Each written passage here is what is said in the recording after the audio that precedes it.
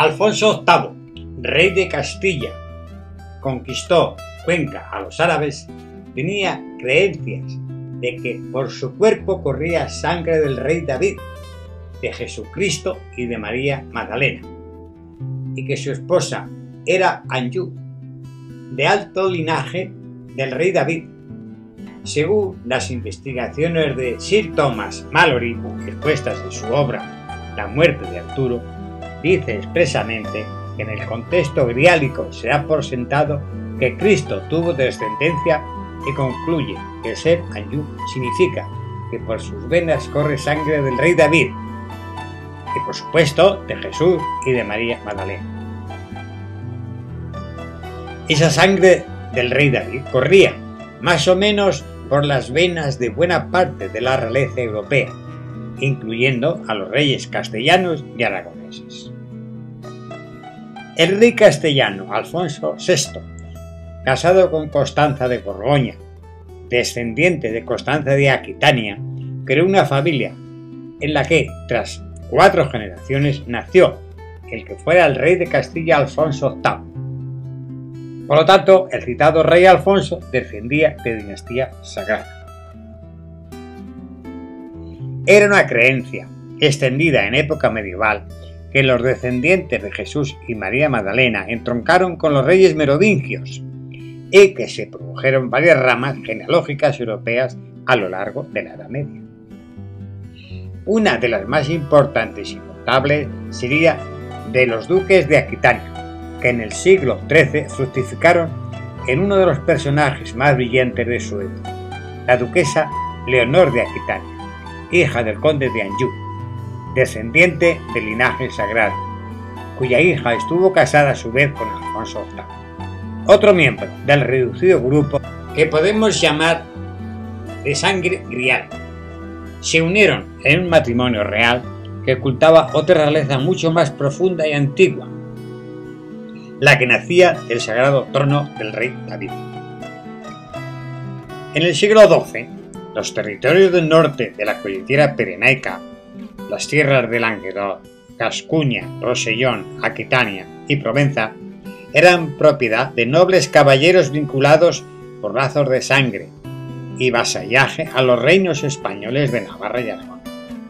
Precisamente, las tierras del Real, aquellas en las que traducción se asienta la herejía cátara con sus creencias sobre la Magdalena y la leyenda del cáliz sagrado.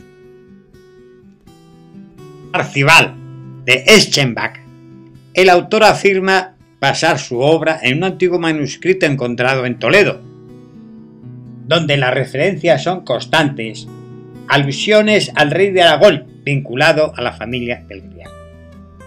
Cuando el rey Alfonso VIII de Castilla puso cerco a la ciudad de Cuenca en 1177, los musulmanes llevaban en ella cuatro siglos. No era fácil la conquista de la plaza murallada, con altos riscos cercando por las aguas de los ríos Júcar y Huec. El rey Alfonso necesitó la ayuda del reino aragonés. También contó con el auxilio de los caballeros de la Orden del Temple, la milicia de Cristo, que según los romances medievales custodiaban el secreto del triángulo. De manera que las fuerzas que plantaron cerco a la cuenca musulmana eran soldados del Grial, un ejército mandado por reyes que pertenecían a estirpe sagrada.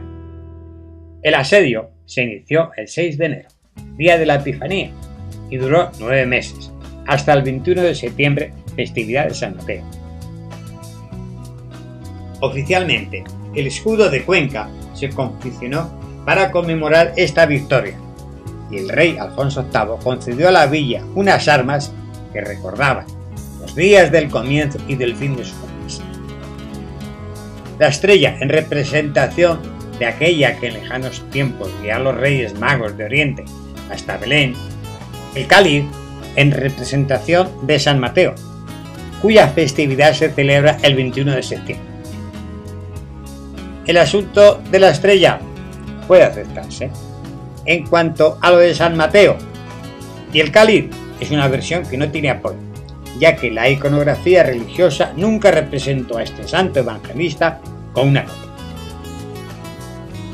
Según el Apocalipsis de San Juan, es el planeta Venus, el lucero brillante de la mañana que distingue a los descendientes del rey David.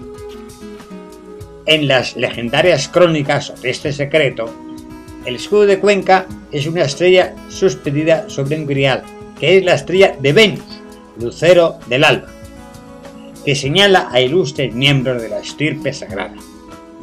Alfonso VIII, casado con Leonor de Inglaterra de Anjou, escogieron estos símbolos para representarse a sí mismo en el escudo de la ciudad. El rey Alfonso VIII, según el griálico texto de Wolfgang von Eschenbach, quería hacer de Cuenca sede de su corte y de su familia, la Alfonsiópolis, lo que las guerras contra los árabes no le permitió. Con las armas del escudo de Cuenca quería dejar constancia de la estirpe a la que él y su esposa pertenecían, y para que su símbolo campeara sobre la ciudad elegida.